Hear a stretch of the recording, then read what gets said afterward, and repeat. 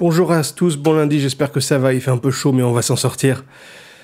Je vais faire un best-of zen, un best-of méditation, parce qu'on m'a posé pas mal de questions euh, sur la méditation, sur à quoi ça sert, sur pourquoi. Et je m'aperçois qu'en fait, il y a vraiment les questions d'experts euh, pour lesquelles je n'ai aucune réponse. J'ai des opinions, bien entendu, puisque j'ai réfléchi depuis longtemps, mais je ne sais pas, parce que je ne suis pas euh, moine bouddhiste, donc euh, j'ai pas d'autorité là-dessus. Et en revanche, a des questions de néophytes, de gens qui ne pratiquent pas, pour qui c'est nouveau. Et je me rends compte qu'il y a souvent des réticences communes à tout ça. Qui disent Ah oui, la méditation c'est bien, euh, la philosophie orientale c'est bien, mais alors euh, moi je suis contre parce que ceci ou cela. Et en général, le ceci ou cela n'ont pas forcément beaucoup de sens. Et je me suis dit que ce serait bien de recommencer à la base, d'expliquer mais pourquoi méditer? À quoi ça sert? Pourquoi est-ce que c'est intéressant de s'y mettre? Et pourquoi ne pas le faire aussi? Dans le sens, est-ce que parfois il y a des objectifs qui ne sont pas les bons et il y a des, visions qui vous retardent alors pourquoi méditer? Pourquoi s'intéresser à tout ça? Bah, Au centre de ça, il y a la notion de souffrance. L'idée qu'on est dans une vie, donc on souffre, qu'on le veuille ou non, c'est quelque chose qui n'est pas optionnel dans la vie, la souffrance. En revanche, et ça c'est au cœur de la philosophie orientale, notre ignorance de pourquoi on souffre nous fait souffrir davantage. Comme on se trompe sur l'origine de notre souffrance, euh, on persiste dans des, dans des directions qui nous font souffrir encore davantage. Et donc, même si à la base, il y a une souffrance inévitable, euh, qui existe, hein, la, douleur physique est inévitable, la souffrance émotionnelle est inévitable, puisque euh, tous les gens auxquels vous tenez vont un jour disparaître, à moins que vous mouriez d'abord. Donc ça, ça va créer de la souffrance émotionnelle de façon inévitable. Vous pouvez rien faire contre. Et bien même s'il y a cette souffrance qu'on ne peut pas éviter, il existe toute une partie de la souffrance qui est non nécessaire et qui est probablement la plus grande partie, qui est celle qui vous rend malheureux.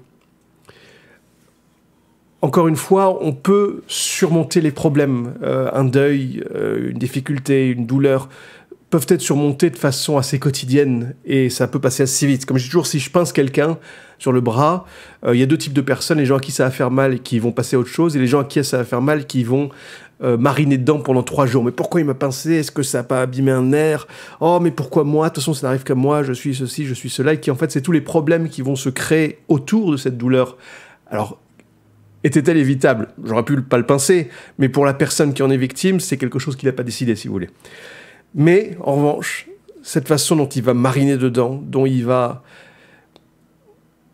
continuer à souffrir de façon inutile, ça, c'est beaucoup plus sous notre contrôle. Il y a vraiment cette idée-là dans les philosophies orientales qui est essentielle pour vivre en paix, la notion de contrôle.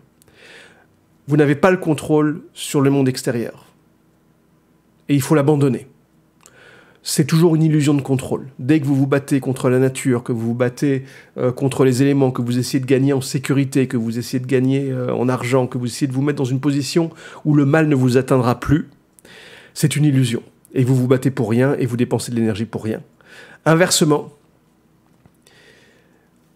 tous ces fluctuations extérieures sur lesquelles vous ne pouvez pas faire grand-chose, vous avez en revanche un contrôle quasiment sans, sans limite sur la façon dont ça vous affecte. Or, vous ne souffrez, la souffrance qui, qui vous accompagne n'existe que dans la mesure où vous la laissez vous affecter à l'intérieur. La souffrance n'est qu'intérieure. On a déjà parlé, c'est comme la couleur rouge. La couleur rouge n'est pas une propriété des objets rouges. La couleur, la couleur rouge est une propriété de votre cerveau.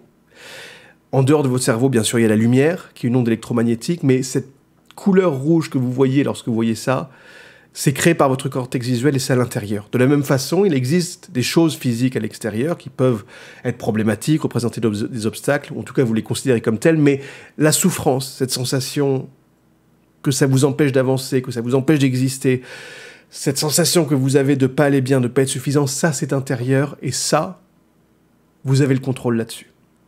Et ce qui est paradoxal, c'est que pour avoir le contrôle à l'intérieur, il faut abandonner le contrôle à l'extérieur. Donc pourquoi faire de la méditation? Pourquoi s'intéresser aux philosophies orientales? Parce qu'elles vous permettent de gérer mieux la souffrance.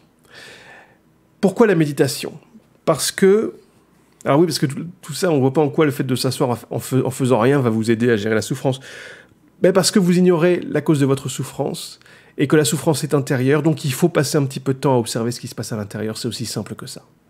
Et comme je vous l'ai déjà dit, dans un monde absolument tourné vers l'extérieur, tourné vers la course, tourné vers la réussite, dès que vous passez un tout petit peu de temps, vous allez comprendre des choses, vous allez faire des progrès. Ça va vous aider de façon immédiate, même si après, ça peut vous retarder parce que ça reste des progrès, donc ça reste du gain. Or, la vraie méditation ne doit pas avoir de gain.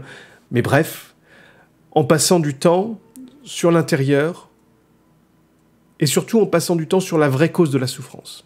Et donc la vraie cause de la souffrance, c'est les pensées. Si vous avez une douleur parce que vous avez été pincé, une fois que la douleur est finie, ça devrait être terminé. Si euh, vous êtes dans un mode d'alerte parce que vous avez vu un tigre, une fois que le tigre a disparu, ça devrait être passé. Alors non, c'est pas passé. On en a déjà parlé, parce que vous avez votre cerveau conceptuel qui crée un concept de la douleur ou du tigre? Dans le cas de la douleur, c'est pas très utile. Dans le cas du tigre, on se dit que ça peut ça permet aux gens de ne pas se reposer tout de suite quand le tigre allait se cacher derrière un arbre. Donc c'est utile. Mais, comme c'est une capacité nouvelle du cerveau, cette capacité à être conceptualisée, on en est un peu les esclaves. C'est-à-dire que, à longueur de journée, on souffre de problèmes que notre cerveau cherche, que notre cortex préfrontal crée, et qui ne sont pas absolument nécessaires. Ça n'est pas un mauvais fonctionnement du cerveau, du cortex préfrontal, c'est sa nature, c'est à ça qu'il sert un peu de la même façon que la souffrance, c'est la nature de la vie. Vous savez, il y a, euh, ce, dicton bouddhiste qui dit la vie est souffrance. Et ça paraît un peu négatif, un peu sombre. En réalité, moi, ça m'avait fait beaucoup de bien. C'est simplement un état des choses que une vie sans souffrance, ça n'existe pas. Tout simplement parce que c'est les deux faces d'une même médaille. De la même façon qu'il ne peut pas y avoir une pièce qui n'a qu'un pile, s'il y a une face, il faut une autre face. De la même façon, vous ne reconnaissez la souffrance que par différence avec le bonheur. Et inversement, si vous ne pouvez profiter du bonheur, c'est parce que à des moments, vous avez des moments où vous n'êtes pas heureux. Donc l'un ne peut pas exister sans l'autre, et c'est impossible, c'est euh, illusoire de chercher seulement l'un, comme ce serait impossible de chercher des montagnes sans crête, des montagnes sans, sans vallée. C'est impossible. L'un et l'autre vont ensemble. Et d'ailleurs, s'il n'y avait pas des variations dans le bonheur, comme il y a des variations dans la lumière, des variations dans le son, on ne le percevrait pas. Nos sens sont faits pour percevoir ce qui varie.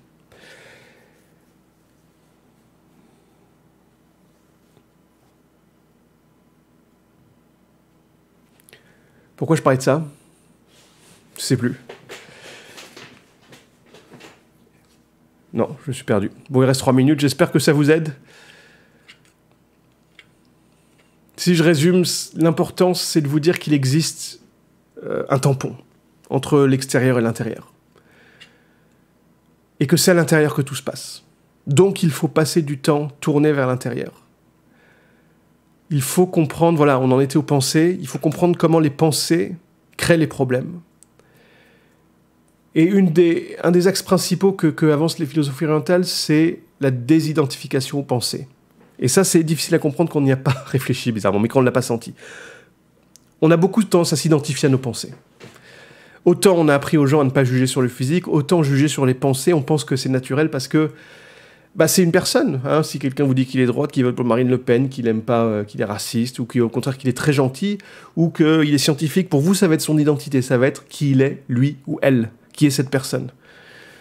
Quand vous passez un petit peu de temps à regarder à l'intérieur, que vous observez vos pensées, que vous ne vous y accrochez pas, ça s'appelle la méditation.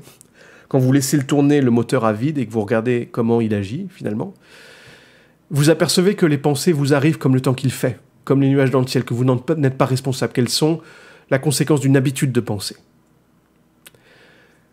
Que si euh, tous les midis, au moment où la cloche sonne, hein, les fameux ne pas vous manger un, sandwich au saumon, bah, quand une cloche sonne, vous allez avoir faim.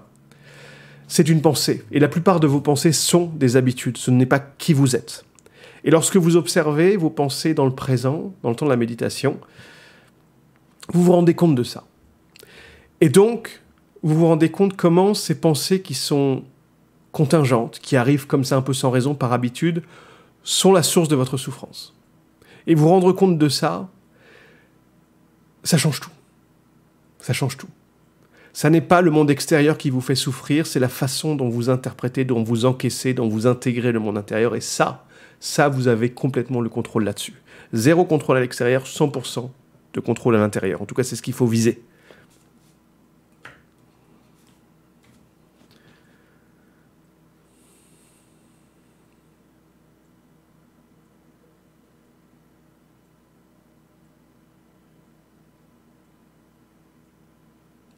C'est tout. Vous voyez, j'ai résumé en moins de 10 minutes. C'est pour ça que c'est intéressant la méditation. C'est pour ça que ça va vous apporter quelque chose. Après, il y a la deuxième étape, qui est une étape plus, et ça on en parlera pendant une autre vidéo, qui est une étape plus spirituelle, c'est que lorsque vous cessez de vous identifier aux pensées, quand vous regardez suffisamment vos pensées pour vous rendre compte qu'effectivement elles vous arrivent et que ce n'est pas vous, vient la question, mais alors qui suis-je? Question qui sera une nouvelle source de libération normalement. Nous sommes lundi, il fait chaud, j'espère que c'est un bon début de semaine pour vous. Abandonnez le contrôle extérieur, gagnez le contrôle intérieur, tout se passe quelque part. bon début de semaine, à demain, 19h. Bisous.